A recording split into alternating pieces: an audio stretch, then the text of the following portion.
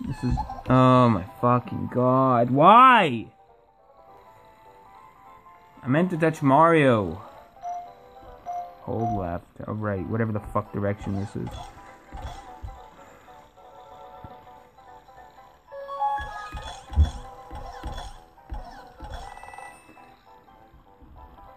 Is it gonna be what I want?